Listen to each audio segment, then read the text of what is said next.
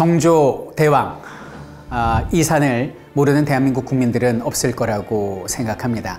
아, 세종대왕님과 함께 우리가 누구보다 존경하는 희대의 성군이지요.